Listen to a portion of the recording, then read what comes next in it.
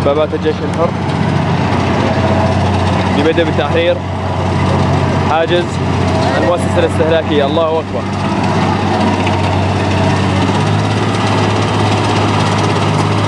أبطال لواء شهيد حوران بالتعاون مع أبطال الجيش الحر. الله أكبر.